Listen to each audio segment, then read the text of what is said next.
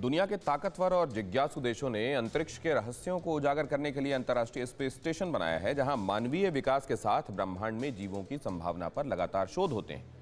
लेकिन सोचिए कि एक छोटी सी जगह जहाँ गुरुत्वाकर्षण बल काम नहीं करता, वहाँ अचानक इंसानों के बीच एक भयानक गोरिल्ला पहुँच जाए तो क्या होगा? ज़ाहिर है हड़कम मच जाएगा, क्योंकि ना तो वहाँ मौजूद लोगों के पास भागने का रास्ता होगा, ना ही गोरिल्ला से सुरक्षित बचने का कोई साधन। चलिए, अब इस कल्पना को हम हकीकत में तब्दील होते हुए दिखाते हैं। इस रिपोर्ट में।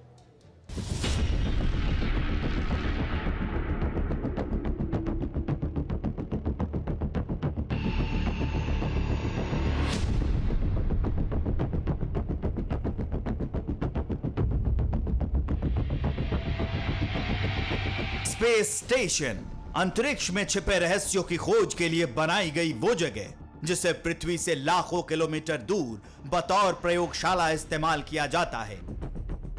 अमेरिका समेत दुनिया के कई देशों ने मिलकर इस अंतर्राष्ट्रीय स्पेस स्टेशन का निर्माण किया है, जो धीरे धीरे उम्र दराज हो चला है।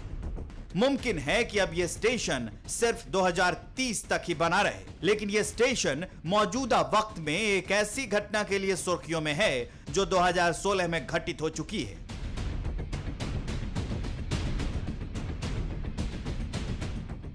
2016 में स्पेस स्टेशन के अंदर का दृश्य यही था। उस दहशत के पल का इसी अंतरिक्ष यात्री ने सामना किया था। स्पेस स्टेशन के अंदर घुस आया था गुरिल्ला।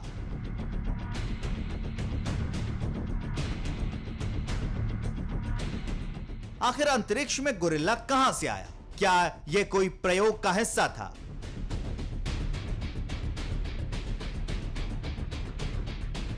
या फिर किसी ने जानबूझकर इस गोरिल्ला को रॉकेट से अंतरिक्ष स्टेशन भेजा था। सवाल कई थे, लेकिन जवाब किसी के पास नहीं था। और जब जवाब मिला तो सब हैरान रह गए। दरअसल, स्पेस स्टेशन में गोरिल्ला का घुसना एक मज़ाक था। गोरिल्ला सूट के अंदर थे अंतरिक्ष यात्री मार्क कैली, जिन्होंने अपने साथी टीम पैक को डराने के लिए इसे किया था।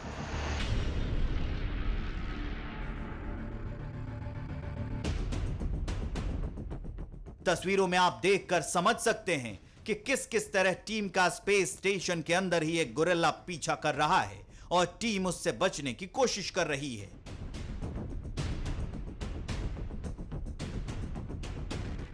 लेकिन अब सवाल यह कि आखिर यह सब संभव कैसे हुआ? दावे के तहत गोरिल्ला सूट को छिपाकर स्पेस स्टेशन भेजा गया था। गोरिल्ला सूट ले जाने का उद्देश्य सिर्फ़ मज़ाक करना था। लेकिन जैसे ही ये वीडियो सार्वजनिक हुआ, पूरी दुनिया में हलचल मच गई।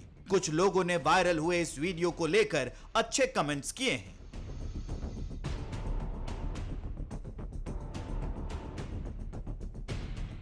लेकिन कुछ यूज़र्स इसे स्पेस स्टेशन के लिहाज से गलत मान रहे हैं। एक यूज़र के मुताबिक, इस स्थिति में बचाव के लिए दूसरे यात्री गुरिल्ला को स्टेशन से एग्जिट भी कर सकते थे, जो कि मार्क कैली के लिए जानलेवा हो सकता था।